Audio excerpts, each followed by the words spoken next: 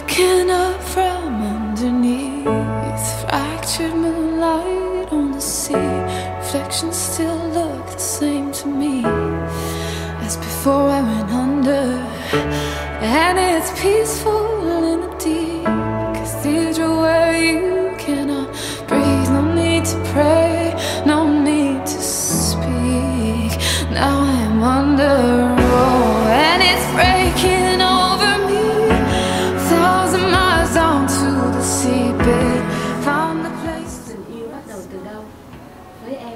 tình yêu bắt đầu từ cái nắm tay. Có những cái nắm tay đơn giản chỉ là chạm về thể chất, là cái nắm tay của tình bạn. Nhưng có những cái nắm tay sẽ chạm tới tâm hồn, cái nắm tay khởi đầu của tình yêu. Khi anh nắm tay em qua đường, em cảm thấy mình được che chở. Khi anh nắm tay em tránh vụ nước mưa trơn trượt, em cảm thấy được chăm sóc, yêu thương. Khi anh nắm tay em trên mọi nẻo đường, em cảm thấy ấm áp và tình yêu vô điều kiện.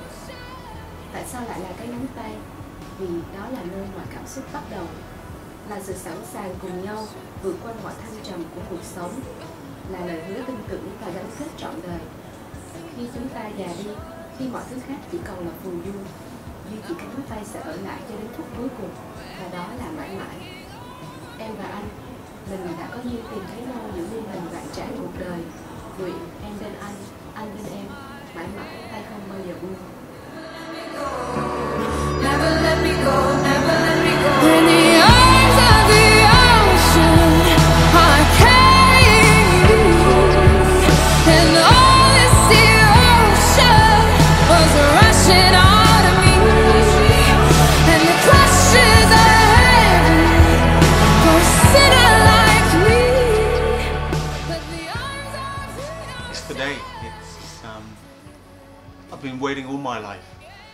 And I think for my mom, it's been she's been waiting, and finally it's here, and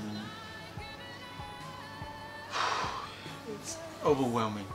Mm, I'm constantly in different emotion all the time, and not sure what to do and where to start, but great family. Um, fantastic friends, wonderful help from my wife's family, and everybody's been super supportive. And I, think that's the that's the rock of it. That's the whole thing that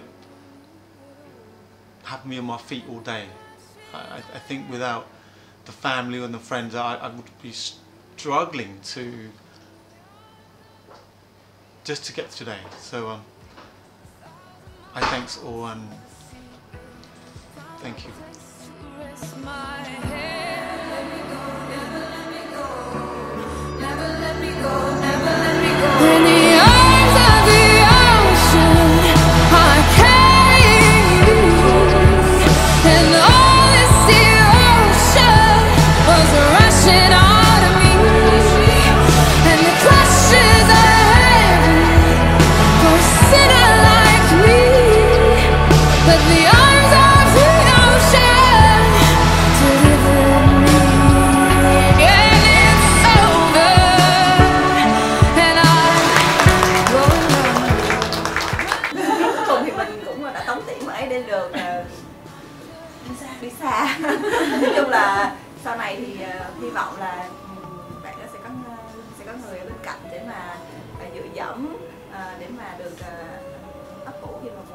Vui.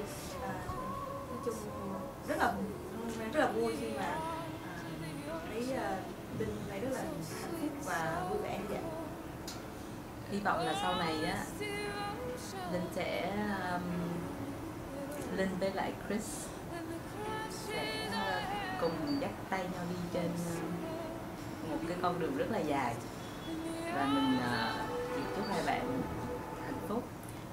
và phải luôn luôn support nhau và nghĩ về nhau như là một teamwork chứ không phải là hai người như trước nữa Finally, you know.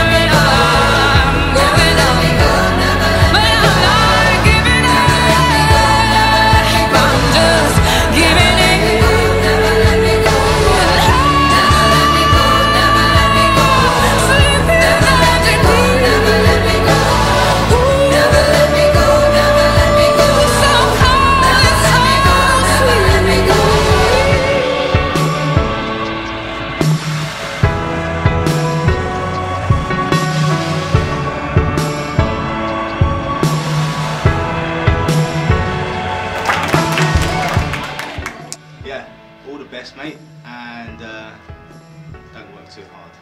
The fur can take care of itself.